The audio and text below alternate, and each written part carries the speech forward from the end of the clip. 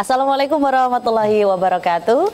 Halo, apa kabar uh, pemirsa Salam Indonesia? Saya Fira Maya kembali hadir ke hadapan Anda kali ini dalam bincang hari ini dan tema yang akan kita uh, angkat hari ini sangat menarik sekali. Tidak pernah bosan kita berbicara mengenai yang baru yang ada di Yogyakarta dan yang baru yang tarafnya internasional, apalagi kalau bukan New Yogyakarta International Airport. Seperti apa selengkapnya? Sudah ada uh, narasumber yang hadir di sini siap untuk memberikan banyak informasi berkaitan dengan New Yogyakarta International Airport. Anda juga nanti bisa ikut bertanya berkaitan dengan ini. Apa pun yang akan Anda tanyakan mudah-mudahan bisa terjawab nanti oleh uh, narasumber-narasumber yang hadir di uh, studio.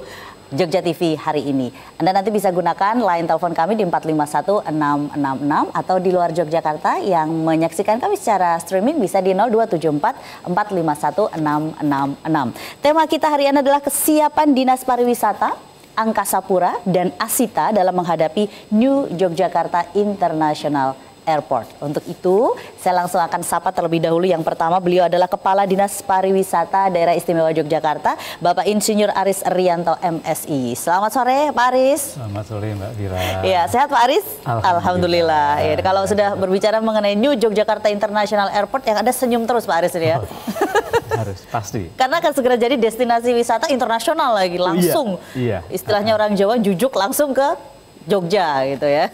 Baik. Kemudian yang kedua, beliau adalah GM Angkasa Pura, Kolonel Penerbang Agus Pandu Purnama. Selamat sore, Pak Pandu. Selamat sore, Mbak Fira. Ya, ini dia kalau berbicara mengenai target-targetnya untuk uh, apa pengunjungnya nanti besok berapa itu nanti sama Pak Pandu ini ya. Kemudian satu lagi yang ini kita bisa tanyakan sampai sejauh mana sih sebenarnya. Kemudian kira-kira nanti akan uh, sesuai dengan target nggak ya pembangunannya gitu. Ada Project Manager Pembangunan New Yogyakarta International Airport, Bapak R. Sujiastono. Selamat sore Pak Suji. Sore, Assalamualaikum warahmatullahi wabarakatuh. Waalaikumsalam warahmatullahi wabarakatuh. Optimis Pak? Akan Optimis. akan sesuai target ya? Siap, Oh, sampai sejauh ini baik-baik saja? baik-baik aja. Oke, mudah-mudahan sesuai target dan mudah-mudahan bisa sesuai juga dengan apa yang diinginkan seluruh warga uh, daerah istimewa Yogyakarta. Nah, sebelum kita lanjutkan berbicara banyak berkaitan dengan kesiapan-kesiapan dari uh, Dinas Pariwisata, Angkasa Pura, kemudian Asita nanti masih akan hadir satu narasumber lagi. Kita akan saksikan terlebih dahulu uh, tayangan berikut ini. Jadi pastikan Anda tetap bersama kami dalam bincang hari ini.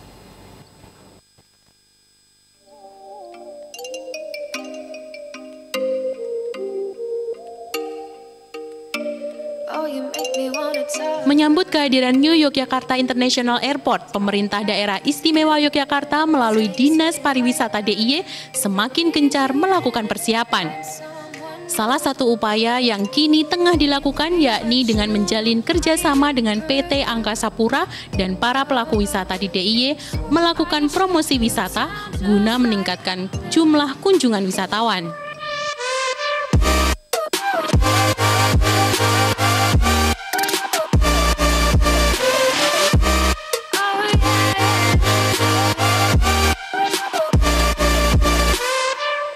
Dinas Pariwisata Daerah Istimewa Yogyakarta semakin gencar melakukan persiapan menyambut kehadiran New Yogyakarta International Airport.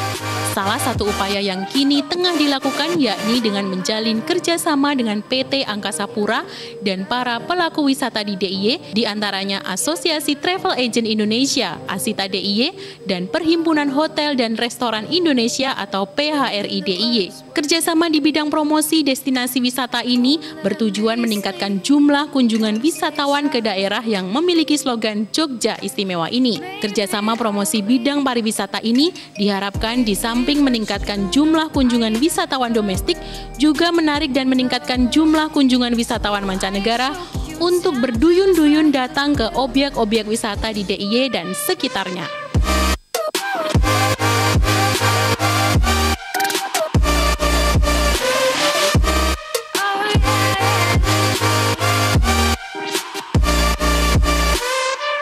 Sebagai salah satu pintu masuk wisatawan, Bandar Udara Internasional Adi Sucipto Yogyakarta dilibatkan sebagai pusat layanan informasi wisata. Mengambil tempat di salah satu sudut ruang kedatangan penumpang, pusat layanan informasi ini menyediakan berbagai informasi tujuan wisata dan tempat-tempat menarik lain yang dapat dikunjungi para calon wisatawan. Tidak hanya itu, di Pusat Layanan Informasi yang merupakan kerjasama antara Dinas Pariwisata DIY dan PT Angkasa Pura ini juga terdapat panggung pertunjukan yang menampilkan berbagai kesenian dan budaya asli DIY. Baby,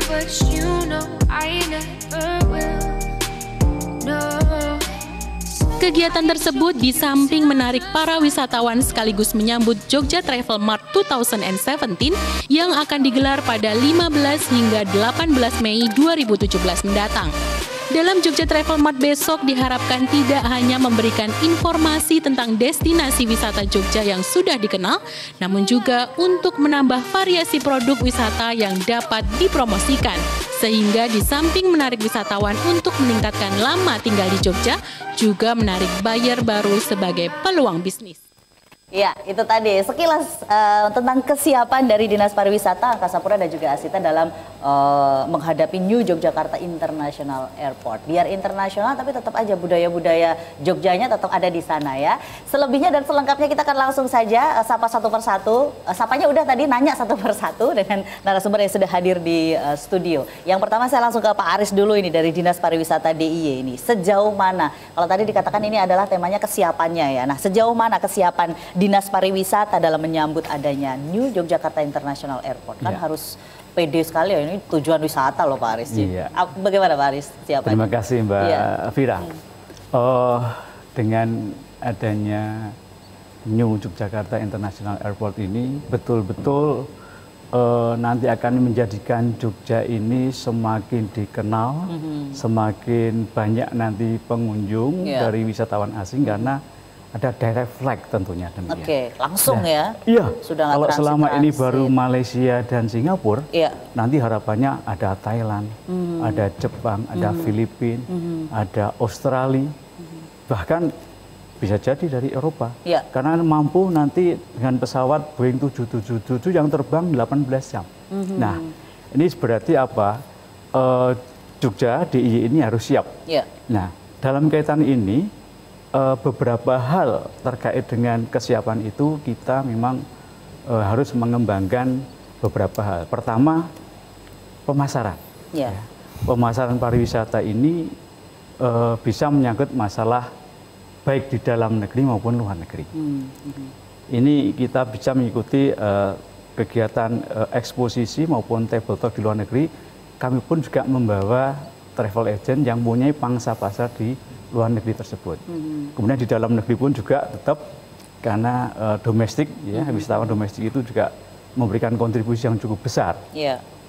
Di samping itu, itu aspek promosi ya, juga melalui media. Promosi itu kan sekarang sudah eh, era digital ini kan, media, eh, website, medsos, kita juga menggalang kerjasama dengan berbagai rekan-rekan, kolega kami yang bergerak di medsos. Salah satunya adalah juga eh, apa yang disebut Masjo ya, masyarakat digital Yogyakarta itu Iya. sangat memberi kontribusi. Kemudian yang kedua kita mengembangkan destinasi wisata. Oke. Jadi destinasi wisata ini kalau Borobudur menjadi destinasi wisata yang dikenal Iya. dan di- diakui UNESCO. Kita ternyata juga punya geopark Gunung Sewu yang diakui UNESCO juga. Oke. Nah, bahkan nanti kalau dari bandara itu sekarang kan jalur jalan lintas selatan Iya. itu kan sudah dibangun, ongoing progress dan nanti akan sampai Jawa Timur. Ini sangat membantu nanti aksesibilitas dan konektivitas internal di wilayah DIY ini. Iya. Nah, jadi akses dari luar negeri masuk ke Jogja, kemudian dari Jogja internal dari airport itu sendiri konektivitas ke berbagai Tujuan wisatanya. destinasi ya termasuk nanti ke kotanya ke destinasi itu lancar. Iya, iya. Ini dari aspek eh, infrastruktur kemudian konektivitas destinasi. Kita mau perbanyak destinasi-destinasi yang ada. Yang baik itu eh, aspek tourism, cultural tourism maupun natural tourism. Iya. Ini, ini banyak tersebar. Dan juga sekarang itu CBT, ya community based tourism itu Iya. banyak dikembangkan dan itu cukup menarik baik wisatawan eh, dalam maupun luar negeri. Nah, kemudian juga aspek industri wisata. Iya. Tadi di gambar disebutkan juga ditayangkan bahwa pariwisata berkolaborasi Iya. Dengan Pak Pandu ini, Iya, Angkasa dari Pura, Angkasa Pura. dengan PHRI, juga dengan Asita, dengan HPI, Iya. ya, Pramu Wisata Indonesia, dan juga komunitas-komunitas lintas peduli wisata. Ini sangat eh, bagus sekali Iya. untuk bersama-sama bagaimana mengembangkan kepariwisataan di daerah Istimewa Yogyakarta Oke. sesuai dengan tugas dan fungsi masing-masing. Kemudian yang keempat adalah kita eh, mempersiapkan betul aspek kelembagaan dan sumber daya manusia. Iya. Jadi eh, teman-teman kita yang bergerak baik di perhotelan, di pramuwisata, bahkan di eh, community based tourism ini lembaga yang ada kita perkuat, kemudian sumber daya manusia yang dia eh, bekerja di sektor itu Iya. kita tingkatkan kapasitasnya sehingga kesadaran mereka eh, di dalam berfungsi menerima wisatawan maupun kesadaran mereka menjadi wisatawan itu meningkat. Jadi Oke. kalau dia seperti itu, pemahaman seperti itu, di ada kesadaran sabta pesona itu juga kita masukkan kepada mereka pemahaman itu eh, untuk bisa dia bertindak melayani tamu dengan sebaik-baiknya. Jadi tuan rumah yang baik gitu Betul. ya. Jadi Jogja menjadi eh, bagi wisatawan itu Jogja adalah salah satu destinasi wisata Indonesia yang aman, nyaman dan memang itu bagus untuk dilihat dengan berbagai varian baik cultural, natural maupun man-made Iya, tourism. Oke, dan yang Iya. pasti eh, menjadi destinasi wisata yang ngangeni ya. Lah, Sepengen itu. datang lagi, pengen datang lagi gitu. Oke baik. Mbak Masih banyak, masih banyak lagi yang uh, akan saya tanyakan ke Pak Aris juga Pak Pandu juga Pak Suji. Tapi sabar, kita akan kembali nanti di sesi yang kedua dan Anda boleh bersiap-siap untuk uh, menelpon kami bertanya berkaitan dengan kesiapan dari uh, Dinas Pariwisata Angkasa Pura dan juga Asita dalam menghadapi New Yogyakarta International Airport. Kita akan segera kembali saat lagi tetap di bincang hari ini.